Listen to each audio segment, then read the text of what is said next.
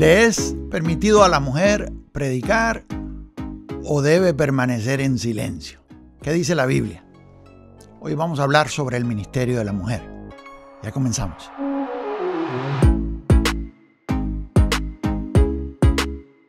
Desde San Diego, California, J.A. Pérez.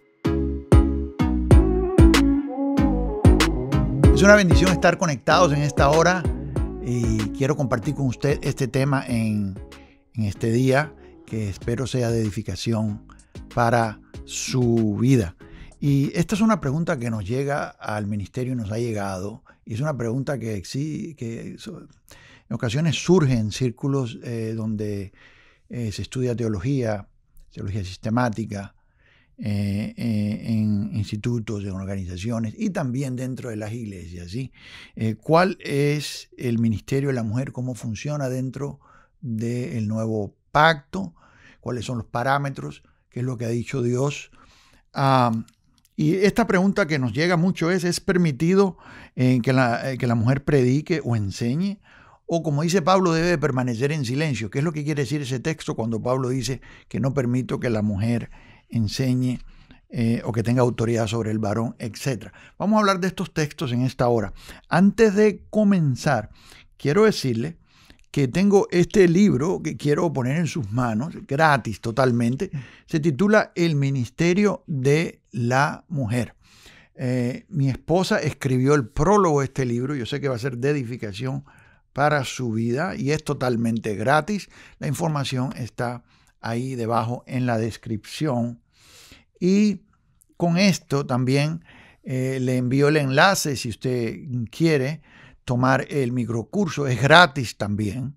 El microcurso titulado El Ministerio de la Mujer es un curso en video, es corto, eh, el cual le puede dar a, usted una idea más redondeada eh, en cuanto a la teología detrás del ministerio de la mujer. Yo sé que esto va a ser de edificación para su vida, aunque sea usted mujer o aún siendo hombre. Eh, de hecho, hombres que sirven en el ministerio necesitan, eh, especialmente pastores, necesitan eh, conocer bien lo que la palabra de Dios dice al respecto. ¿sí? Y nos llegan muchas preguntas al ministerio. hace, hace poco nos llegó una pregunta sobre, ¿existe el ministerio de pastora en, en, la, en el Nuevo Testamento, en, en, la, en la Biblia? Y eso lo respondemos en otro video. Ahí debajo en la descripción también le dejo información sobre ese video.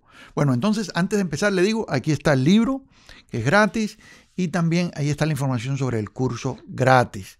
Eh, le recuerdo, si no lo ha hecho, a que se suscriba a este canal y recuerde presionar la campanita de manera que le estén llegando notificaciones cada vez que subimos videos nuevos. Eh, videos con enseñanzas, estudios, eh, información sobre material gratis que puede edificar su vida. Sí, bueno, yo creo en el ministerio de la mujer, eso siempre lo digo, lo tengo que decir antes de comenzar. Eh, también creo que Dios ha establecido un orden y eh, estas dos cosas tienen que venir en balance para que nosotros podamos esto, ministrar en la iglesia y hacerlo efectivamente, tanto hombre como mujer, ¿sí? Entonces yo creo, y le voy a decir algo, yo le pido que no haga conclusiones hasta que yo haya llegado al final de este video. No se vaya corriendo con lo primero que yo digo, déjeme completar la idea y entonces, bueno, ya usted puede tener una idea más redondeada de lo que estoy diciendo. No, como le digo, yo creo en el Ministerio de la Mujer y sí hay textos difíciles que tradicionalmente algunas denominaciones usan para no permitir a la mujer subirse al púlpito o ejercer posiciones de liderazgo. Esos textos los vamos a aclarar en este día. Así vamos a comenzar por Primera de Timoteo, capítulo 2, versos 11 y 12. Dice el texto, la mujer aprenda en silencio, con toda sujeción, porque no permito a la mujer enseñar ni ejercer dominio sobre el hombre, sino estar en silencio. Si usted lee ese texto así, simplemente, sencillamente a la superficie, usted mismo dice, bueno, ya hasta ahí llegó, ya no hay ministerio de mujeres. Ahí dice, que la mujer aprenda en silencio con toda sujeción. Ah, y no permito que la mujer enseñe. no le permito enseñar. Y ni ejercer dominio sobre el hombre. Hay tres cosas aquí, yo las voy a tocar en orden. ¿sí? Eh, una es aprender en silencio, son tres cosas de las que está hablando el texto aquí. Una es aprender en silencio, la otra es no enseñar y la otra es no ejercer dominio sobre el hombre. So, recuerden, son tres cosas en este texto que vamos a tratar. Primera de Corintios capítulo 14, verso 34, eh, dice, vosotras mujeres callen en las congregaciones. Eso está bien duro callen en las congregaciones, porque no le permito a la mujer hablar, sino que estén sujetas, como también la ley lo dice. Interesante que Pablo menciona la ley, hace referencia de la ley mosaica. Ahora, poniendo todos los textos juntos, mm, las mujeres callen o hagan silencio, no les, permito, no les permitido hablar y que estén sujetas. Eso eso suena como un machismo, diría hoy en día en nuestra cultura actual, un machismo fuerte, ¿no? O es que no entendemos bien el texto. ¿sí? Como le dije anteriormente, hay tres cosas que se están tratando acá. So, vamos a irnos usando como base 1 Timoteo capítulo 2, versos 11 y 12, para tocar estas tres cosas. vamos a comenzar por el silencio. La primera, por el silencio. Comencemos por el silencio. Yo diría que el hombre también debe aprender en silencio. Cuando el texto dice, cuando el texto dice, la mujer aprenda en silencio, yo diría que también el hombre aprenda en silencio. Yo estuve años predicando en una congregación hace años, en una congregación donde todos hablaban en voz alta al mismo tiempo, mientras yo estaba enseñando y me interrumpían continuamente, hombres y mujeres. Yo recuerdo, y yo dije, wow, esta gente que falta de respeto a mí, aquí no le dejan a uno expresar el tema con tranquilidad gente continuamente estaba haciendo ruido y hablando en voz alta, interrumpiendo continuamente, ¿sí? Ah, no solo es falta de educación interrumpir a otra persona cuando está hablando algo de lo que nosotros los cubanos tenemos fama, también entorpece el aprendizaje. Digo tenemos fama porque nosotros, eh, de donde yo vengo, donde yo nací, aunque yo vine a Estados Unidos muy jovencito, adolescente, pero donde yo nací, y viví los primeros años de mi vida, eh, en nuestra cultura hablar en voz alta es muy normal. Inclusive interrumpirse los unos a los otros es muy normal en nuestro pueblo. ¿sí?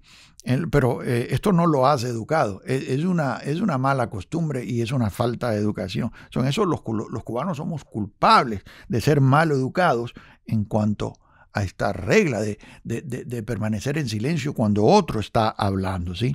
No, debemos todos aprender en silencio. ¿Por qué? Porque es educación, son buenos modales y para entender lo que otro está enseñando. Si usted está hablando cuando otro está enseñando, usted no puede estar aprendiendo.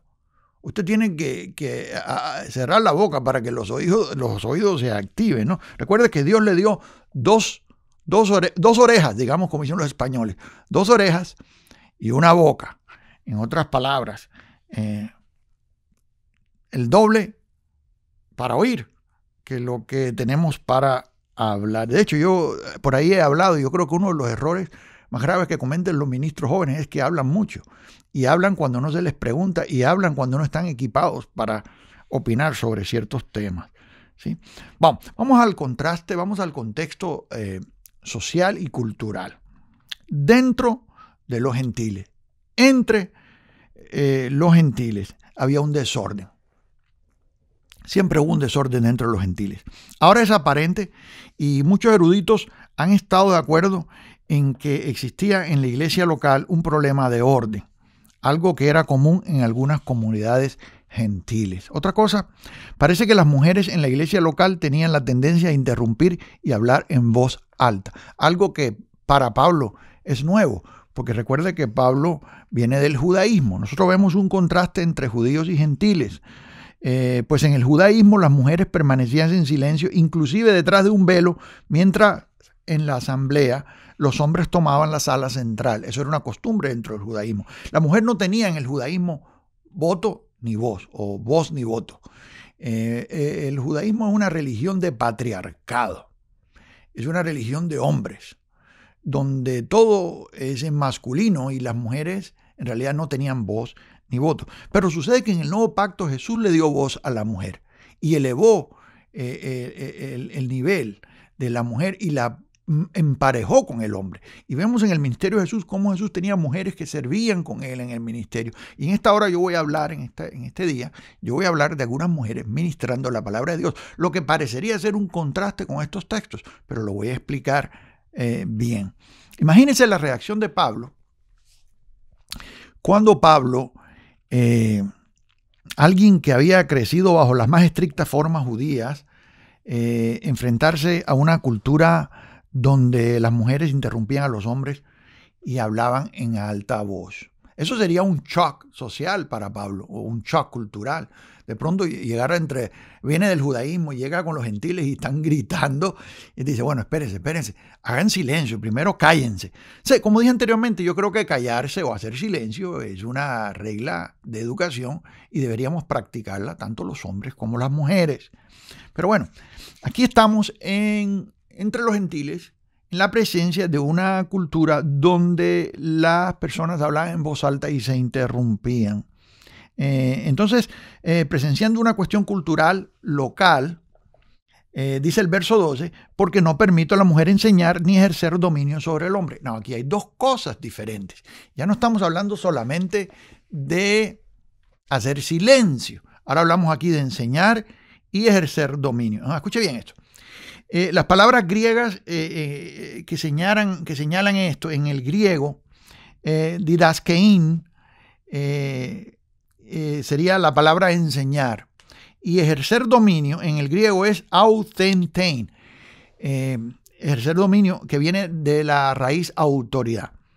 estas dos palabras cuando se combinan en el griego forman un juego que significa forma espantosa y desagradable de imponer, forzar la voluntad de unos sobre los demás. En otras palabras, la palabra, cuando la palabra enseñar y la palabra mm, dominio se juntan y son usadas juntas en el griego, eh, eh, expresan esta forma espantosa y desagradable de imponer eh, la fuerza de unos sobre los demás. En otras palabras, es como controlar la conversación. Pablo está en contra de que una mujer imponga autoritativamente su voluntad sobre un hombre.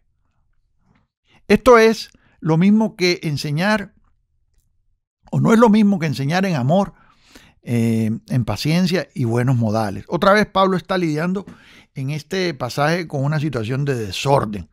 Y recuerde que Dios es un Dios de orden.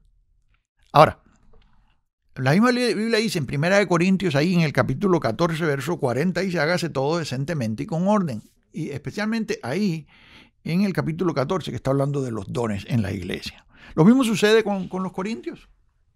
Lo mismo que, que, Pablo está diciendo a Timoteo, ahí sucede.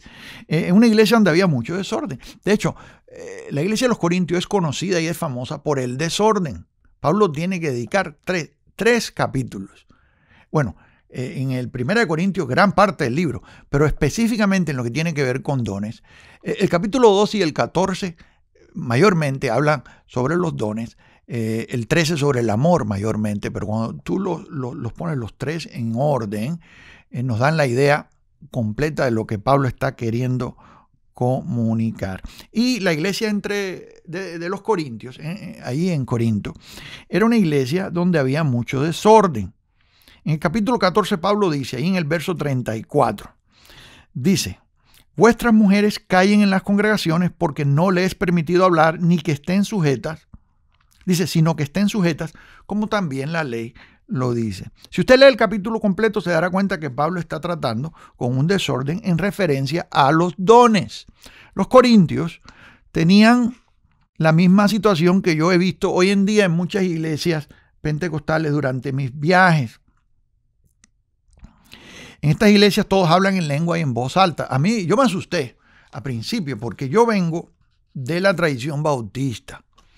Y yo, nosotros salimos de un avivamiento que hubo entre los bautistas muy tremendo, un derramamiento del Espíritu Santo muy tremendo, donde los dones eh, estaban en, operación. Y, yo siempre he creído, yo soy continualista en esto, eh, o continuista, no, no sé bien porque la, veo usada de, estas dos formas, la misma palabra.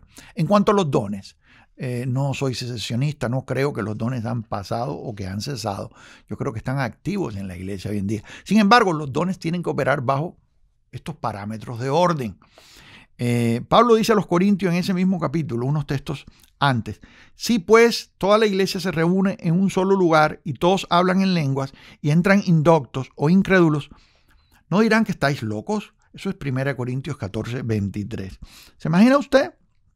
Eh, 1 Corintios 14, ahí el 27 al 28 dice, si hablo, dice, si habla alguno en lengua extraña, sea esto por dos o a lo más tres, y por turno, y uno interprete. Y si no hay intérprete, calle en la congregación y hable para sí mismo y para Dios. En otras palabras, Pablo está trayendo orden en la manifestación de los dones. yo he llegado a lugares, al principio, como le dije anteriormente, de donde yo vengo. Aún así, cuando estaban los dones del Espíritu en operación en la iglesia, aun cuando nosotros vimos don de profecía, lenguas, ah, milagros, dentro del movimiento juvenil de los bautistas en esos años, estamos hablando a principios de los años 80, ah, aún así, eh, cuando yo comencé a viajar como evangelista itinerante, eh, yo fui invitado a iglesias pentecostales, algunas pentecostales de la santidad pentecostés y pentecostales de las antigüitas. Y yo notaba que los pentecostales cuando iban a orar, todos se tomaban de la mano y oraban al mismo tiempo en voz alta. Y, yo, me, yo me asustaba, yo decía, ¿qué es esto? Porque donde yo vengo, eh, todos oran, pero en voz baja y uno solamente ora en voz alta. Y cuando uno está orando, todo el mundo hace silencio. Y cuando termina de orar, todos dicen amén. Eh, eh, en señal de que estamos de acuerdo con lo que se oró. Pero el que ora es uno. Pero yo llegaba en estos círculos pentecostales estaban todos en, voz alta hablando y, y, orando todos al mismo tiempo y, todos en voz alta. Y decía, ¿qué es esto? Y yo me pregunté, decía, ¿a quién está oyendo el Señor? Yo sé que el Señor es omnipotente, Él puede oír a todos. Pero yo decía, wow, es, es confuso para mí porque uno está pidiendo una cosa, el otro está pidiendo otra, uno está reprendiendo demonios, el otro está diciendo que ya están reprendidos y cosas así. Entonces, a mí me confundía eso, no solamente eso, en congregaciones donde la gente se paraba y oraba o hablaba en, lengua, en voz alta, y nadie interpretaba. Y eso me tocó verlo muchas veces. Gente orando en voz alta, en lengua, y, no había interpretación. Eh, a veces eran dos a la vez, o a veces eran tres a la vez. O a veces yo estaba predicando desde el púlpito y alguien empezaba a hablar en lenguas y me interrumpía. Y, cuando yo les preguntaba, decía, no, es que el Espíritu Santo me está dando y no puedo contenerme. Y yo decía, bueno, si no se puede contener, eso, eso me, me, preocupa, porque la Biblia dice que el Espíritu del profeta está sujeto al profeta. En otras palabras, ¿cómo es que no se puede contener? Ah, eh, y Dios no se puede interrumpir a sí mismo. ¿Cómo Dios me va a estar dando a mí la palabra desde el púlpito y a la misma vez le está dando a otra persona ya palabra en lenguas eh, para la congregación? está como que Dios está interrumpiendo a sí mismo. Y eso no tiene sentido. E, e, este, es, este, es, el problema en cuanto al desorden. ¿sí? Y había un desorden dentro de los corintios. Y las mujeres hablaban en voz alta y gritaban y, se imponían sobre la voluntad de los hombres. Y esto para alguien que viene del judaísmo es totalmente extranjero. ¿sí? Cuando vemos el contexto entendemos por qué Pablo trata de entrar a estas mujeres gentiles en rienda. Eh, es muy difícil enseñar en ciertas culturas el concepto del silencio. Los judíos entienden esto más, pues ellos ya están o ya tienen la referencia del Antiguo Testamento. Pero para los gentiles hacer silencio es un concepto nuevo, o, o, por lo menos en la entrada de la palabra, la llegada de la palabra de Dios a los gentiles. Para ellos era un concepto nuevo, hacer silencio. Para los judíos no. Salmo 37, 7 dice, guarda silencio ante Jehová y espera en él. Eh, Lamentaciones 3:26, bueno es esperar en silencio eh, la salvación de Jehová. En otras palabras, en otras palabras, eh, para, la cultura, para la cultura judía, los salmos muchos terminan con sila o sela, que quiere decir para y a silencio. En otras palabras, está callados. Y hacer silencio, inclusive en las oraciones, es una costumbre muy buena eh, y muy rara y difícil de entender eh, dentro de los gentiles, eh, por lo menos al principio. ¿sí? Bueno, vamos a la número dos, que es enseñar. Ya hablé de silencio, ahora hablar, voy a hablar de enseñar. Recuerde que estamos hablando de tres cosas en el texto. La número uno es silencio, la número dos es enseñar y la número tres es ejercer dominio sobre el hombre. So, vamos a enseñar eh, en cuanto regresemos. Eh, eh, voy a mostrarle este videito de un minuto y algo y ya, regresamos. Regresamos en unos instantes.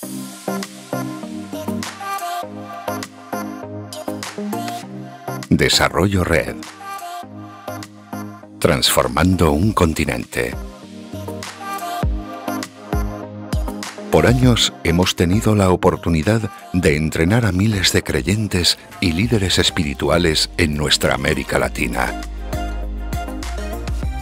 visionarios provenientes de diferentes trasfondos y culturas del mundo en desarrollo, poniendo en sus manos un currículum sólido y culturalmente sensitivo con material diseñado para la formación integral de futuros emprendedores. Ahora, por medio de los avances de la tecnología, líderes, ministros, empresarios y todo aquel que ama crecer con sólida instrucción espiritual y académica puede conectarse desde la comodidad de su hogar y obtener la misma calidad de preparación que miles han recibido cara a cara. Cursos en materias de liderazgo, teología y vida cristiana cada curso en nuestra plataforma virtual contiene lecciones en vídeo y texto que puede leer o descargar a su computadora, tableta o teléfono. Manuales para leer en línea o descargar en formato PDF. Además, al completar el examen de cada curso, el estudiante recibe un certificado de completación autenticado por la Escuela de Liderazgo Internacional o la Facultad de Teología Latinoamericana Desarrollo Red. Equipando creyentes y líderes continentales para comunicar las buenas noticias de una manera relevante y culturalmente sensitiva. Únete ya y sé parte de esta preciosa familia de creyentes y líderes que están impactando naciones.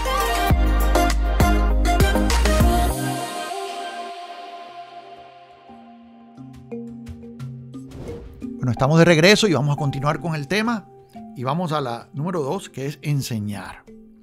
Dice Pablo en 1 Timoteo capítulo 2, en el verso 12, dice, porque no permito a la mujer enseñar ni ejercer dominio sobre el hombre, sino estar en silencio. Ahí dice Pablo. No, sacar este texto de contexto bíblico e histórico sería un error. Primero bíblico, pues sería una contradicción que Pablo le diga a Timoteo una cosa y a Tito otra, y que haya consentido en que Priscila le enseñara a Apolos el camino correcto doctrinalmente. Y eso se lo voy a compartir en unos minutitos. Escribiendo a Tito, Pablo recomienda lo siguiente. Y esto es Tito capítulo 2, verso 3 y 4. Dice, las ancianas asimismo sean reverentes en su porte, no calumniadoras, no esclavas del vino, maestras del bien, que enseñen a las mujeres jóvenes a amar a sus maridos y a sus hijos. Eso es Tito capítulo 2, versos 3 y 4. Fíjense lo que dice Pablo. Dice que las ancianas, dice que sean maestras del bien. Ahí dice la palabra maestras, maestras del bien. Y dice que enseñen a las más jóvenes. ¿Y qué les van a enseñar? Bueno, les van a enseñar a amar a sus esposos. Es como diríamos nosotros un seminario de matrimonio. Pero eh, entonces, ¿a quién le hacemos caso? ¿Al Pablo que le está hablando a Timoteo y diciéndole no permito que la mujer enseñe?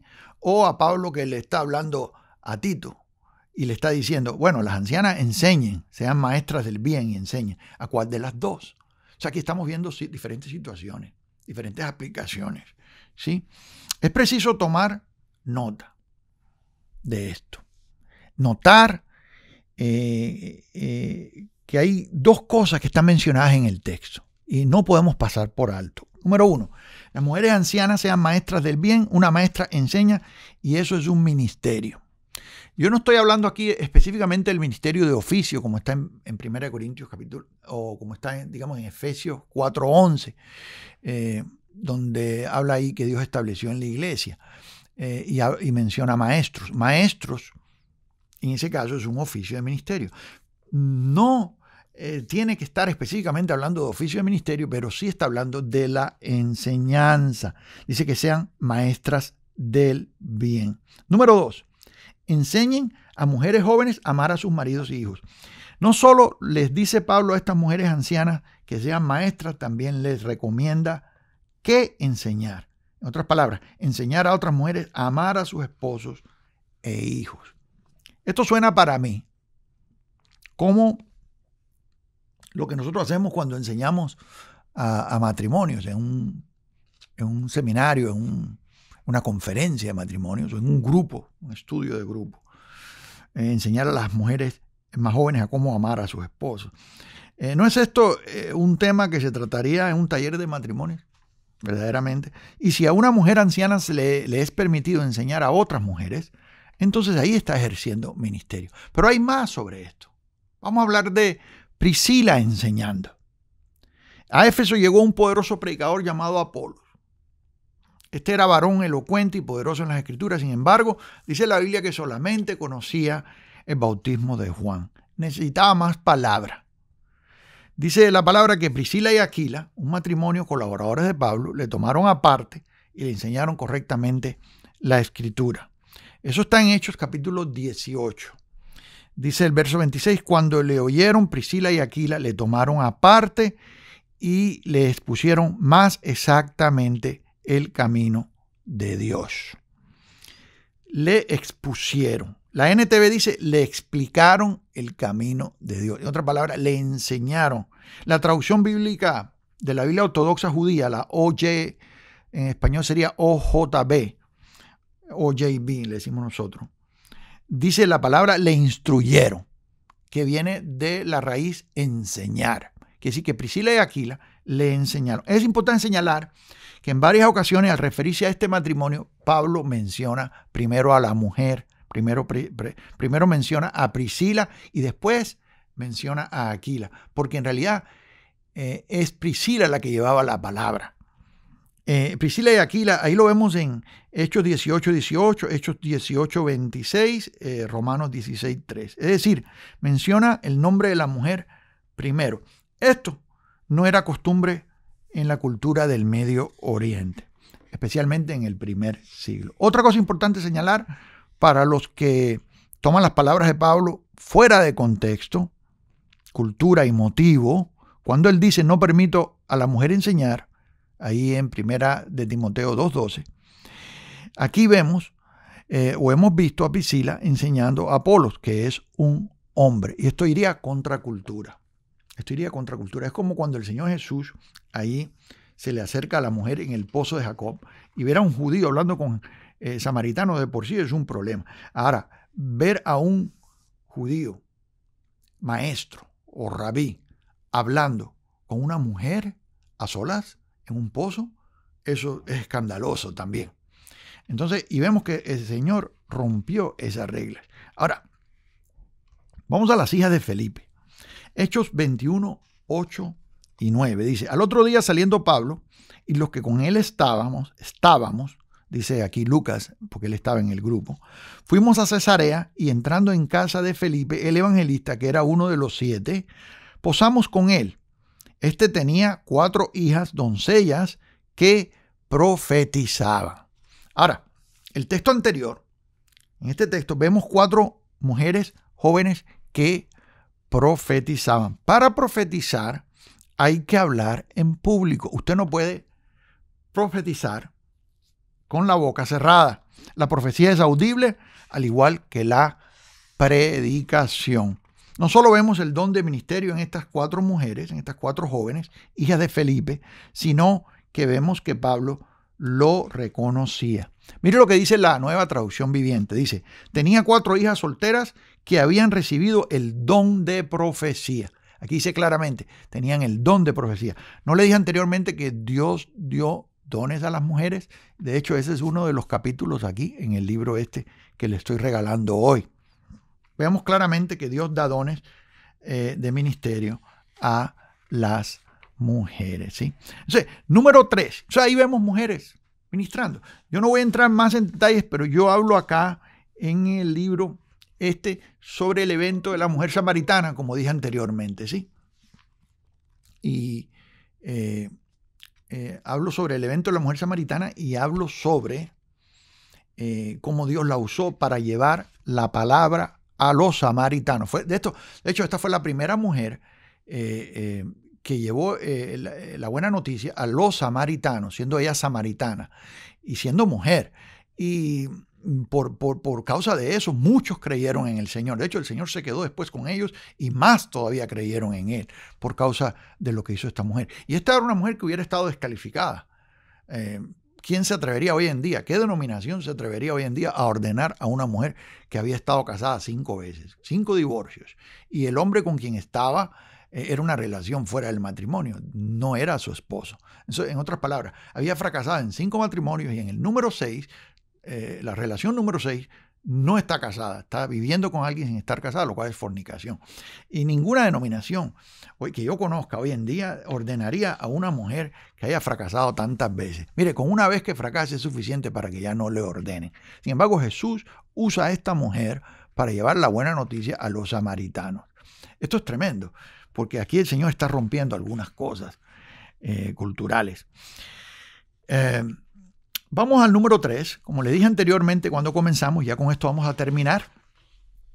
Estamos este texto eh, eh, eh, desempacándolo en tres. Número uno, aprender en silencio, ya le expliqué. Número dos, enseñar, ya le expliqué. Número tres, no ejercer dominio sobre el hombre. Vamos a hablar de autoridad y orden. ¿sí? 1 Timoteo 2.12 dice, ni ejercer dominio sobre el hombre, sino estar en silencio. Ah, e, en este capítulo 2 de Primera de Timoteo, Pablo está hablando de orden. Entonces, veamos en serio el nuevo orden que Dios ha establecido. Primero, y esto tenemos que entenderlo. Número uno, la mujer y el hombre son iguales en importancia y valor delante de Dios. Le dedico acá un buen espacio a hablar del valor de la mujer. Es un capítulo hablando del valor. En el liderazgo, Dios estableció un orden de autoridad. Aunque Dios usa a la mujer, aunque Dios le ha dado dones igual que se los ha dado al, hombre, eh, y como aun cuando Dios ve a la mujer igual que al hombre, a ambos Dios les ha dado diferentes responsabilidades en el reino. Y autoridad, de la manera en que Dios la da, lleva un orden. Entonces, ¿qué, qué es ese orden? Bueno, ya dije, somos iguales en importancia, pero en liderazgo Dios ha establecido un hombre. ¿Puede una mujer ejercer el ministerio? Sí. Si tiene el llamado a la enseñanza, se prepara en todas las áreas bien para ejercer el ministerio, estoy hablando de la predicación, y cumple con los requisitos que debe tener un ministro, y yo doy los requisitos acá en el libro que debe tener un ministro, le doy la lista de requisitos, hombres y mujeres deben tener. Eh, entonces, puede cumplir el ministerio igual que el hombre, pero aún así queda la cuestión del orden. Dios estableció un orden. Y este orden no comienza en el ministerio. Este orden comienza en el hogar, que es el núcleo primario. Dios creó al hombre, a la mujer, hizo la familia, instituyó el hogar. Y en ese hogar Dios puso un hombre, ¿sí? Un, perdón, un orden. Eh, que una mujer tenga la bendición de poder ejercer pastorado, esto no significa que esté exenta del orden que Dios ha establecido en el matrimonio y la familia, lo cual es el núcleo de la humanidad. Vamos a ver ese orden.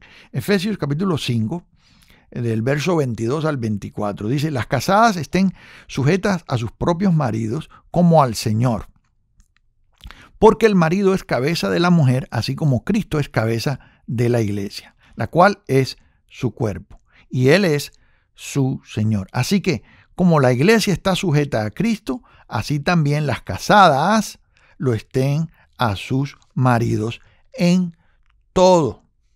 Quiere decir que aunque seamos iguales en importancia y valor delante de Dios, Él ha establecido un orden de liderazgo en el hogar.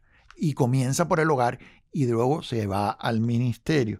Siendo que en el matrimonio es una institución, o que el matrimonio es una institución, Toda institución necesita un líder. Y Dios ha designado al hombre como líder y responsable delante de él en lo que corresponde al hogar y la familia. Lo siento, pero eso es lo que Dios estableció. Ah, dice Efesios 5:23, porque el esposo es cabeza de la mujer, así como Cristo es cabeza de la iglesia, la cual es su cuerpo y él es su salvador. Efesios capítulo 5, verso 23. En otras palabras, para una mujer eh, que ejerce el pastorado o el ministerio, o el evangelismo, o el trabajo de misiones, primero viene su matrimonio y su familia. Créame que esto puede ser un problema. Yo he tenido que aconsejar matrimonios donde la mujer ha descuidado a los hijos, ha descuidado al esposo, ha descuidado el hogar por andar, entre comillas, sirviendo a Dios en las misiones o allá afuera. Por estar ocupada en el ministerio, por estar ocupada en la oración con otras mujeres, por estar ocupada sirviendo, han descuidado su relación matrimonial. Y, los daños son increíbles. Yo he visto daños terribles. Eh, entonces, primero viene el hogar. Escuche bien, tu primer ministerio es, tu esposo y tus hijos. Escucha bien, mujer. Tu primer ministerio es tu esposo y tus hijos. Las solteras tienen otra bendición. Y los solteros también.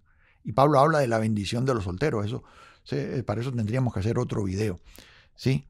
Eh, esta debe respetar la autoridad del marido, como dice ahí Efesios 5:33 el cual es cabeza de su hogar, de la misma manera que Cristo es la cabeza de ambos. Y he oído mujer decir, no, mi cabeza es Cristo, yo solamente me someto a Cristo. No, la Biblia dice que Cristo es la cabeza del hombre y el hombre es la cabeza tuya. En otras palabras, Dios encargó, le dio al hombre la responsabilidad de ser cabeza del hogar, protector del hogar, guiador del hogar. Escuche bien, como en los tres oficios del Antiguo Testamento, que eran sacerdote, profeta y rey. ¿Qué hace el sacerdote? Te cubre.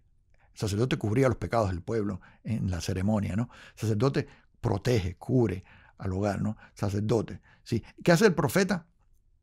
¿Mm? El, el, sacerdote cubre, el profeta guía, es el vidente, es el que guía, el que tiene visión. El hombre tiene que tener visión en el hogar y guiar. ¿sí? Y rey es la protección el hombre debe ofrecer protección a los que están bajo su techo, a los que están bajo su casa. Esa es la responsabilidad del varón.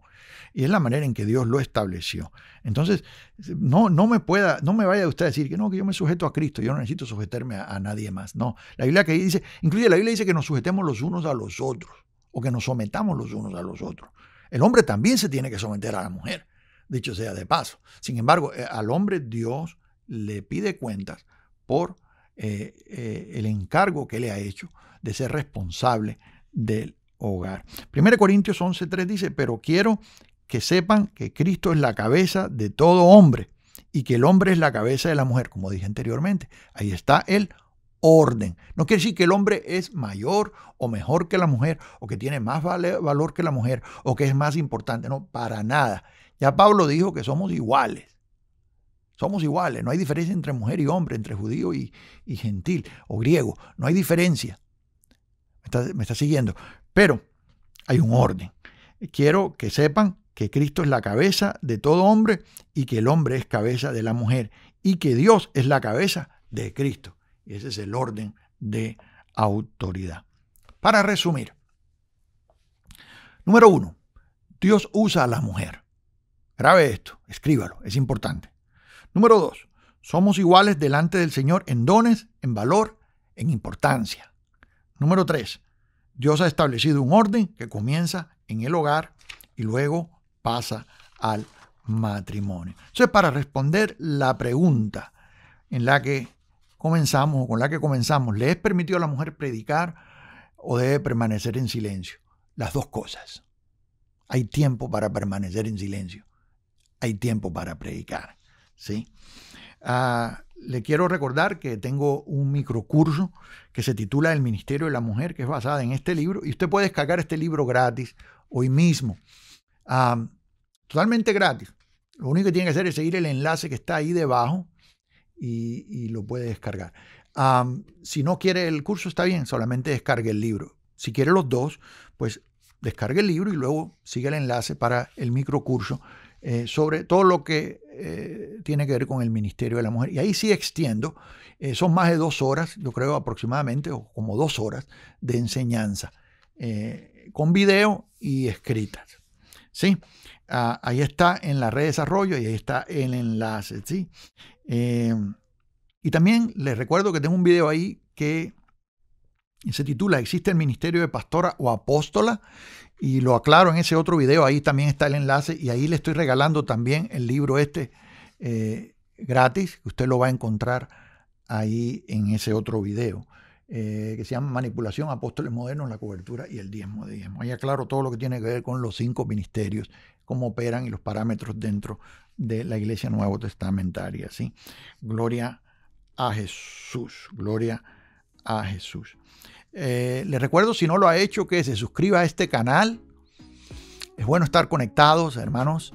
Ahí está eh, el botón para suscribirse, presione la campanita de manera que le estén llegando notificaciones cada vez que subimos videos nuevos con enseñanzas, anuncios de materiales que pueden edificar su vida, muchos materiales gratis como, como lo son cursos, libros, estudios, etc. Es mi oración que esto haya sido edificación para su vida. Seguimos conectados. Bendiciones de lo alto.